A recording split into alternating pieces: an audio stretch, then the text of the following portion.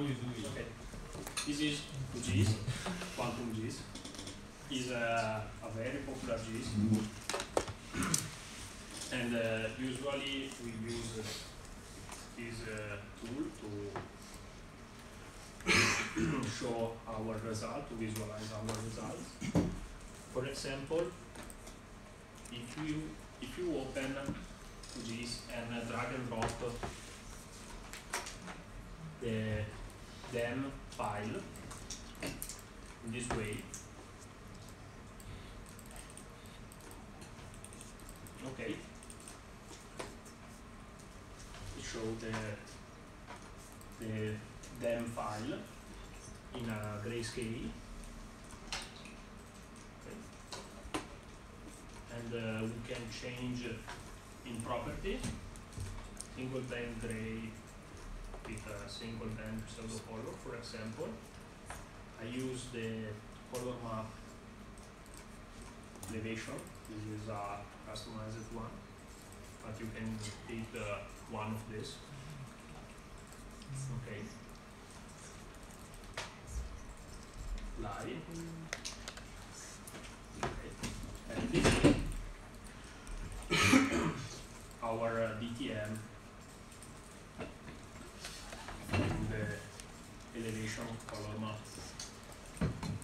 Okay. You saw yesterday how to divide your basin in different uh, sub-basins, different HRUs. Uh, for example, you uh, have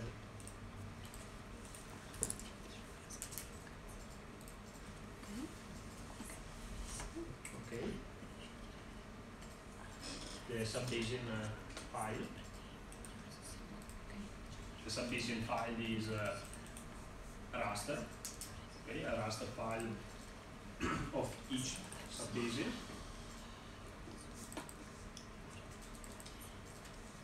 and uh, if you vectorize this uh, raster okay, with the raster conversion from raster to vector, we will obtain something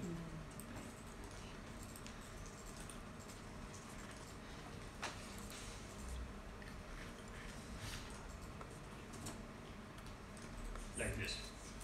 This is the shapefile of, of the subbasin. Why we do this? Because can uh, compute uh, some uh, parameter in the shapefile. If we open the attribute table,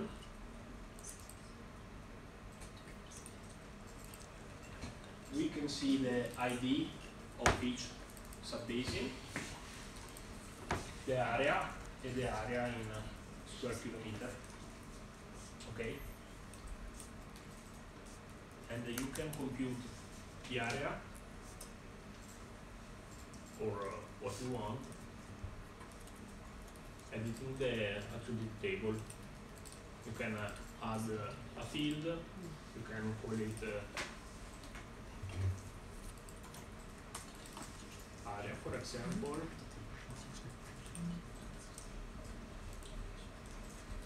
Okay. And then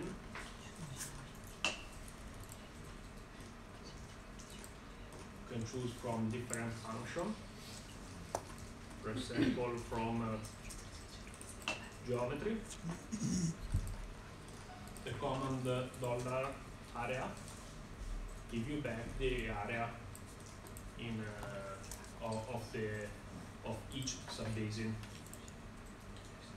Okay. Okay.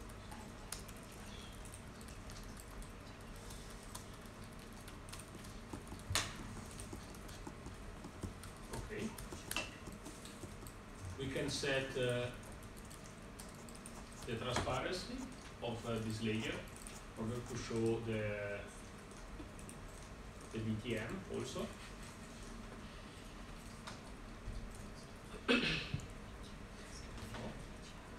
Ah, okay. Okay. So this way you can uh, see also the DTM, but also the subbasing. And uh, now we need to extract the centroid of each, of each basin.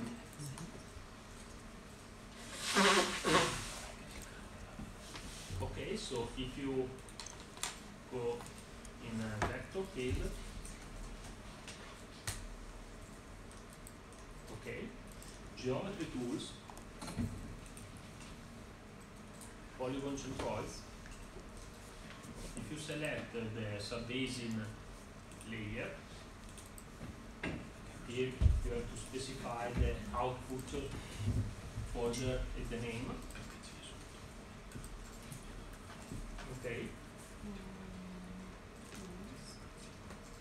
for example, centroid,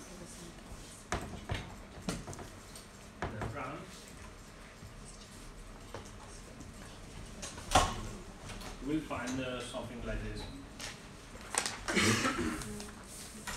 Uh, this is the point where we want to interpolate our data. Okay?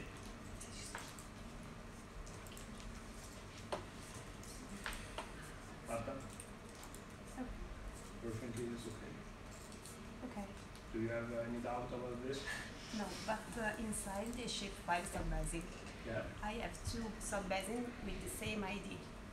It's normal or not? Yeah. It's two number four. So this is normal but not correct.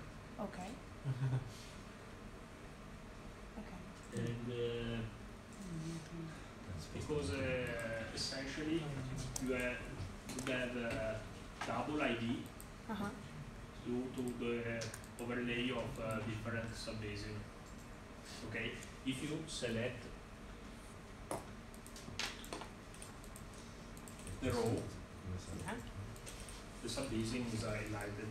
Okay. Okay, if you pick uh, one of the uh, double ID, Uh huh. they will show for sure uh, a bigger subbasin Yes. and a smaller one. Okay. So this is uh, quite normal. And if you compute the, if you extract uh, the centroids, at the end you will have a centroid also Uh, okay. in the small pixel. Okay? In this case, you have to remove it manually. Okay? The centroids or the subbasing? Uh, the centroid. Okay. Okay? Uh, All right. okay, you go on the centroid and hit, Okay. Okay. and then uh, with this, select, cancel, Okay. then. okay?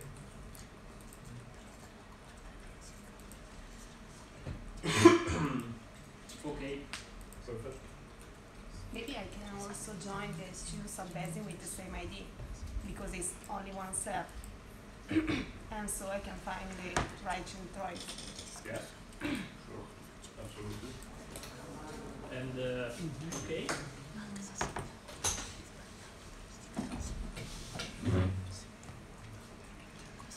okay, the centroid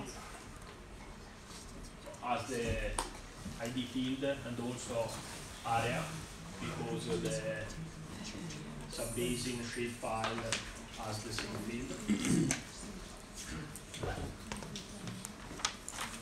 we need to find also the elevation of the centroid because uh, we need it for the kriging uh, simulation.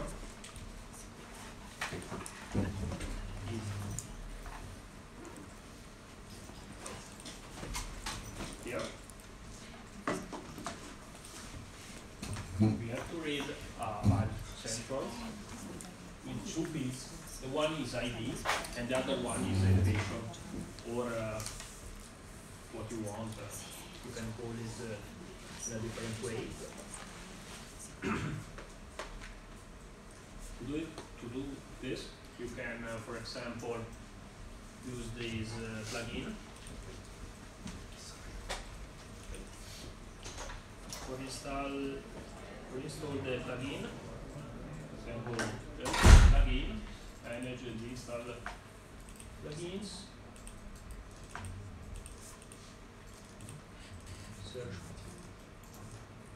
Uh, Okay, Point sampling tool, install uh, the plugin.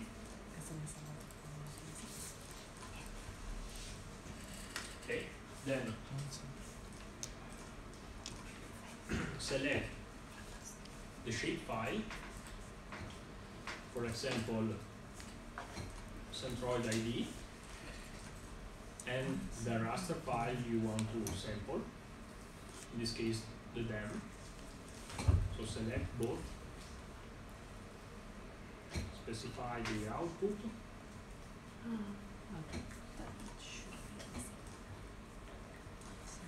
okay,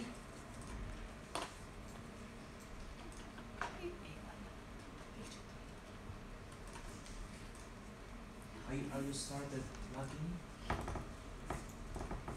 you, how the How on uh, this, on the icon, then select uh,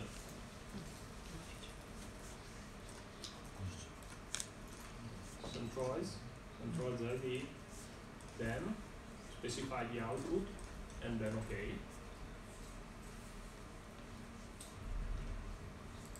Okay, at the end, I will have a shape file with the ID, with the same ID of the previous one, Centroid, the Centroid file, and with the elevation taken from the ETM.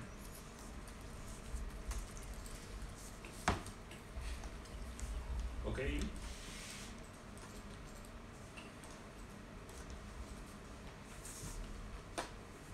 Any question?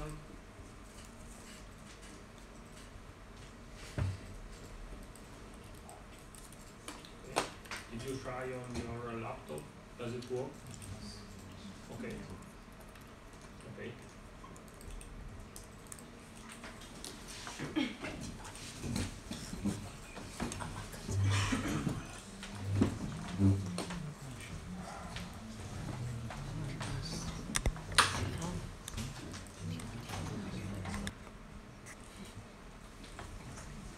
So uh, before I computed the, um, the average of uh, precipitation and temperature of the whole period, but uh, what about if I want to compute the uh, monthly mean of let's say temperature? So first of all I have to compute the uh, monthly mean of uh, the air temperature and then uh, insert in the experimental variogram the start date and end date. In this case, the time step is one month because uh, I'm uh, coping with the monthly mean and uh, the only time step you can use in uh, OMS is uh, 60 minutes or one day. You can use one month. Okay? So what you have to do is compute each experimental variogram. So if I want to compute the experimental variogram of January, I have to set the start date, then date this way. If I want to compute February, To write the dates in this way. okay. And then compute for each experimental variogram the set of of uh, the optimal parameter with the particle swarm. So also in this case, for each month, I have to compute the optimal parameters, insert the optimal parameters in the kriging points, run the kriging simulation, and obtain the interpolated value for the first month. Then I have to update everything with the parameters for the second month, January or what you want, and so on. So at the end, I will have uh, different CSV file, one for each month, and I have to merge it together. Okay?